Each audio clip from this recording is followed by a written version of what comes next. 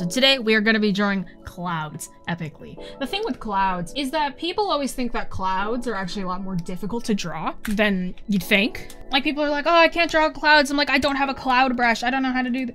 I promise you it's actually not that bad. To understand how to draw clouds, let's look at actual clouds. When we look at clouds themselves, clouds, if you don't really analyze them, kind of just look like big blobs. But let's take a closer look at what these things are, right? Notice that the shape of clouds, we got this fluffy bit on top and it actually kind of straightens out at the bottom of the shape, right? Not perfectly, but it straightens out a little bit. So if you've ever seen like stylistic clouds, they tend to just be drawn with that straight line at the bottom, puffy on top. This one's a really good example. You notice that? The bottoms of the clouds are all nice and very leveled out while the tops are very fluffy. Another thing you might want to notice is look at the shadows that hit clouds, right? Look at these shadows they're actually not that blended in. They're a lot harsher than you might think, right? Depending on the cloud, of course. But notice how like harsh these shadows actually are on the clouds, right? They're not that smooth. It's not, they're not super, super soft, right? You can make out almost outlines within the shapes of these clouds, right? Following that same fluffy texture,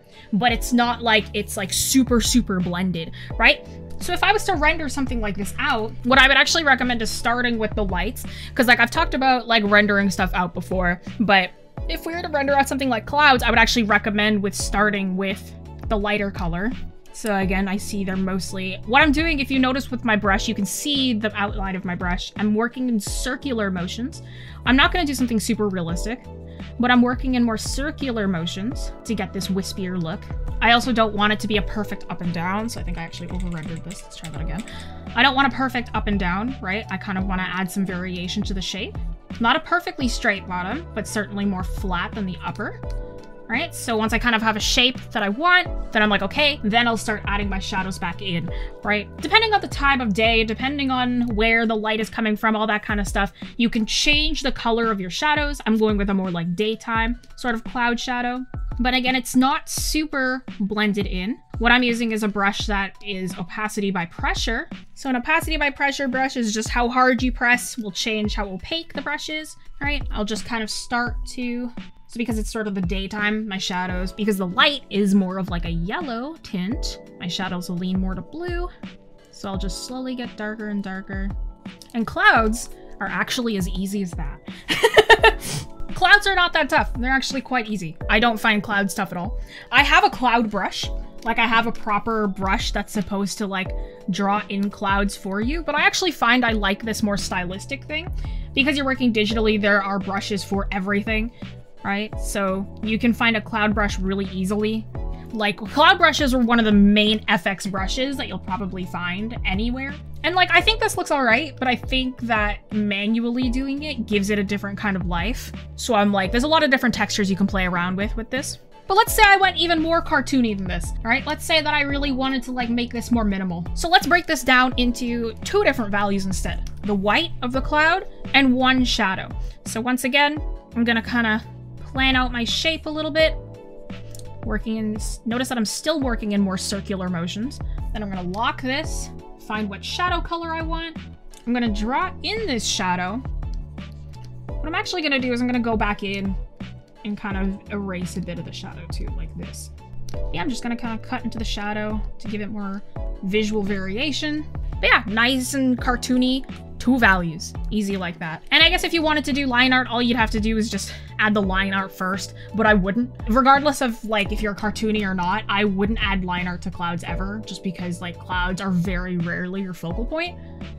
A big question we get a lot during streams and on the channel is advice on how to start as a content creator, and we always tend to recommend starting with budget-friendly assets before moving on to something new. But today's sponsor, Wondershare DemoCreator, can be used by pros and beginners alike. Wondershare DemoCreator is a simple-to-use video recorder and editor rolled into one software for learners, educators, freelancers, and gamers alike. The video editor uses many easy-to-use features to make editing quick while still looking professionally made, such as filters, auto-generated captions, and overlays. Not only this, but the video recorder has live live editing capabilities such as adding arrows, magnifying specific spots on your screen, and adding spotlights onto specific areas of your work. This makes the video editing pipeline much quicker and easier, especially if you're an aspiring art tutorial channel, an artist in general, or are a teacher or student who needs to make a video presentation for your class. Speaking of the video recorder, not only does it have a webcam capturing software and overlays built into it, but it also has VTubing capabilities with a hand motion tracker, which is far more advanced than any free to try software has any right being. As someone who knows how much work and effort goes into making a VTuber, having an easily accessible one right at your fingertips is huge. Be sure to try out Wondershare DemoCreator for yourself with the link in the description, and thank you once again for sponsoring this video. Thinner clouds are a little bit more like, if you want something a little bit more thinner, you still want to keep that cartoony style. Again, I would turn on the opa layer by opacity, especially if you want those sort of wispy looking clouds. Less is more. So like if you want that kind of like wispy across the air sort of look, couple strokes, you're good enough. But yeah, look at how much contrast that has. Like I don't think people notice how much contrast clouds actually have. Very, very important. Nighttime clouds, the thing with clouds at night is that there will be no light bouncing on them. So if you have like a dark night sky, all you gotta do is just like slight lightness and just add those clouds back in especially if it's at night. If you have the moon somewhere, like say if you got like a moon somewhere, what you could do, it's an epic looking moon. What you could do, you can do a really dark kind of cloud. Because clouds at night really don't have a lot of light hitting them, right? Because there isn't a lot of light to begin with. But if there's the moon there, then they will have a little bit of like edge lighting. Because the moon is now their light source right? That sort of thing. Nice and dark. What I tend to do when I do some kind of cloudy sky is just to add some color variation. First of all, never use pure gray. Use something more akin to like a blue or orange. You're more, you're better off using a colder blue. And then just add color variation in there. Tune into our weekly live streams for art tips and demos in real time. Subscribe and hit that little bell to get notifications for when we're live. Let's look at a cloudy day. Look at these gray skies, these cloudy, dreary days, right? Notice that even though it's like gray, it's all gray, there's still a little bit of color variation in there. Some areas where the clouds are thinner, some areas where the clouds are thicker, right? So all you gotta do is just add that variation back in. So maybe there's some areas in here that are a little bit lighter. And make sure you stick with your perspective as well. Clouds are easy because you can make them follow perspective without being too precious about it. Like just as long as it generally follows the general direction of your perspective, you're all good. Yeah, some cloudy days are darker than others. Some are lighter. Gray skies are one of those things where you actually don't want the contrast to be too high, but there should be just enough contrast to the point where you can tell like there's no sun out. And here's the thing, some people will ask me like, how do I do like sunset clouds? All right, it's zero difference from this one or this one or this one. You just gotta change the colors. Change the colors, add some rim light, you're all good right? Let's actually, let's actually just change this one, right? Let's say that this one was like at golden hour, right? Yellow, deep purple, and then like, like a rim light almost. And then like a yellow, which obviously would look better if there was actual sunsets to help you out there, but it's just changing the colors. And of course your references are there as well. Join a virtual class to learn live from our professional artists.